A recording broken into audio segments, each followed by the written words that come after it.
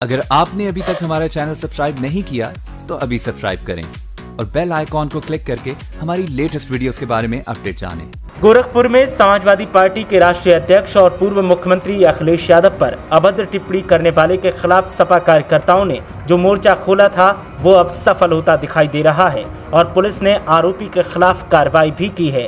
Police ने आरोपी को गिरफ़्तार तो कर ही लिया है, साथ ही उसे सजा दिलवाने की भी बात कही है। इस मामले पर समाजवादी पार्टी के कार्यकर्ताओं में अब खुशी दिखाई दे रही है, लेकिन उनका कहना है कि जल्द से जल्द आरोपी के खिलाफ सख्त कार्रवाई की जानी चाहिए। आपको बता दें कि जब अभद्र टिप्पणी सामने आई थी, उसके बाद सपा कार्यकर्ता लगातार संघर्ष कर रहे थे और लगातार कार्रवाई की मांग कर रहे थे। साथ ही पुलिस को चेतावनी भी दे रहे थे कि अगर पुलिस ने वक्त रहते मामले पर एक्शन नहीं लिया तो फिर आंदोलन किया जाएगा। लेकिन जिस तरीके से पुलिस ने एक्शन लिया है, उससे लगता है कि आरोपी को कड़ी सजा दी जाएगी। आपको बता दें कि पूर्व मुख्यमंत्री और समाजवादी पार्टी के राष्ट्रीय अध्यक्ष अखिलेश यादव पर अभद्र टिप्पणी करने के आरोपी को गोरखपुर की कैंट पुलिस ने अब गिरफ़्तार किया है।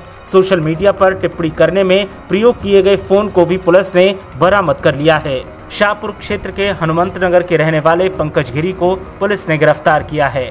पंकज ने पूर्व मुख्यमंत्री पर अभद्र टिप्पणी की थी। अखिलेश यादव पर अभद्र टिप्पणी किए जाने पर समाजवादी पार्टी के कार्यकर्ताओं में भारी गुस्सा देखने को मिला था। सपा कार्यकर्ताओं की तहरीर पर गोरखपुर की कैंट पुलिस ने मुकदमा दर्ज किया था। सपा नेताओं और कार्यकर्ताओं ने जिला अध्यक्ष नगीना प्रसाद साहनी के साथ कैंट थाने में मुकदमा दर्ज करने के लिए तहरीर दी थी, जिस पर अब एक्शन हुआ है।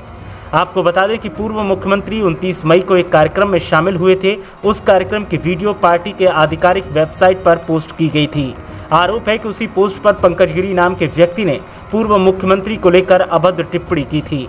इस मामले में गबीश दुबे की तरफ़ से दी गई तहरीर में से घोर आपराधिक कृत्य बताते हुए मुकदमा दर्ज करने की मांग की गई थी। कैंट के प्रभारी थानेदार विवेक मिश्रा ने बताया कि तहरीर के आधार पर आईटी एक्ट और अभद्र टिप्पणी करने के आरोप में मुकदमा दर्ज किया गया था और अब उसी पर गिरफ्तारी हुई है। समाजवादी पार्टी के जिला अध्यक्ष नगीना प्रसाद साहनी ने पुलिस प्रशासन को चेतावनी दी थी।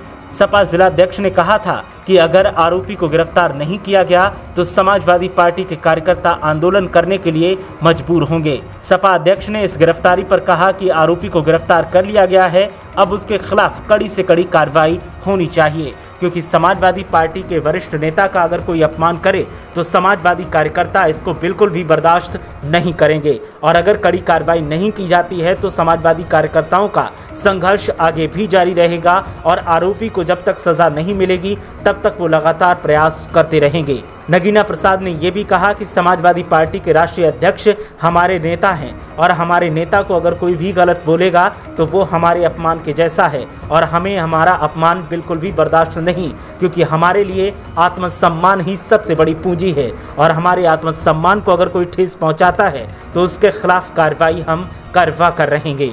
ब्यूरो रिपोर्ट, मीडिया हलचल।